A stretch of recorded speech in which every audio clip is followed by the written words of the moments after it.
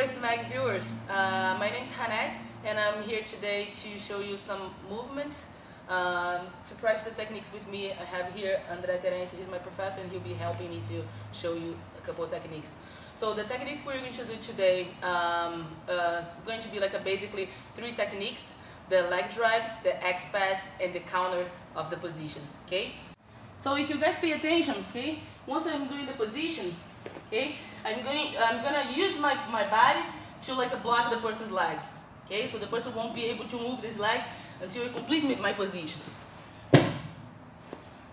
So I'm going to use my body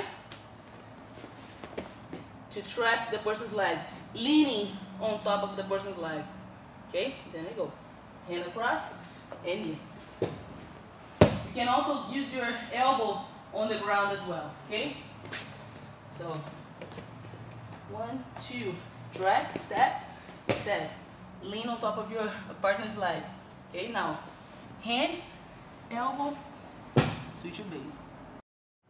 Okay guys, now the second situation will be the counter of the leg drag position. Okay, so my partner on top will start the, uh, the leg drag. One, two, bring the leg across. So you cannot wait for the person to go to the side to put the hand and the knee on the ground. Otherwise you'll be like in trouble. So you have to react before the person finish the position. Okay, so as soon as the person drag your leg to the side, okay, so the person drags your leg to the side, I will use my other leg, okay, to bring across. And we're going to use the same drill as we did in the beginning, okay, the spin. Okay, so raise your hip. So we can use your hand for the beginners and finish like this. And from here, you can start your guard again, your positions again, okay? So one more time, your partner is going to the leg drag, okay? As soon as the person bring your leg across, pass your other hand over, other leg over, raise your hip, and spin, okay? Come back with your both feet on the hip, okay? So drilling the technique, okay? So you're going to go, your partner will go to the position, leg drag, cross your leg, okay? So imagine what you hold the person with your feet. Okay, so your toes will be very active in this position. Okay, so raise your hip, spin, spin, spin, spin. In the end of the position, you're going to come back with your feet square on your partner's hip. Okay, so that's the count. One, two, drag. Okay, hold, hold. Toes very active. Raise your hip, spin, and come back. Okay, cross spin. Always towards the bottom leg, okay? Like, like, like the drill we did in the beginning. Okay? So bottom leg, that's the side you go. So our third technique today will be the X pass. Okay? So for the X pass, I want you guys to hold with one hand on your partner's collar. Okay? Don't forget when you're like in a, this situation here, you cannot leave your, your hand too deep inside because the person can get you in the triangle or even like an bar from this position here, okay?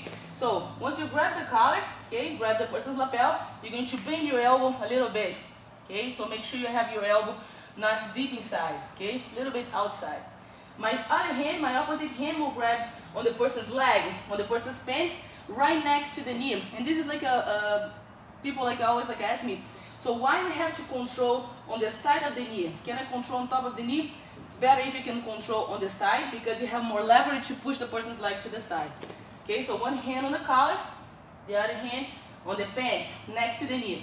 Same side you have the hand on the collar is the side you're going to step back. Okay, so to do this position, you're going to go use your hips to move the person's the person's leg forward a little bit, and then you're going to step back with your leg. Okay, so we'll be basic like this. Control the collar, control the pants. Okay, so move forward and then step back and push the leg to the side. So it will be almost at the same time. Once you move forward, you're going to step back and push the leg to the side. And that's why we call this position the X pass, because we finish with our arms in an X position, okay? So one hand on the lapel, elbows bend. Okay, the other hand, control the, the pants next to the knee. Okay, so hips forward. If you see my base here, I have my, my knees bent and I have my position like in a squat position. Okay, so here, here, move forward, step back, push the leg to the side. Okay, so we basically want to pin this leg on the ground, But before you pin this person, the person's leg on the ground, you're going to bring your uh, the leg up, the leg which is uh, up, and you're going to pass your shin across the person's leg. Now, push the person's leg down. Imagine you want to pin the person's leg on the ground. And then bring your forearm on top of the person's leg. I will only let go of the pants once I have my leg, my arm, my forearm on top of the person's leg. Okay? So once I have the position here, then I can let go of the pants. Okay, my free hand now goes to the biceps, okay? Or even like a control in the neck. But make sure you hold something here to not allow your partner to roll, okay? And then you're going to have to use another position to pass, okay? Here, now, knees on the ground, walk to the side on your knees, okay? And finish on the side control. I hope you guys enjoyed the technique today. And any suggestions, comments, you can also uh, contact GracieMag for more information. And thank you guys for watching.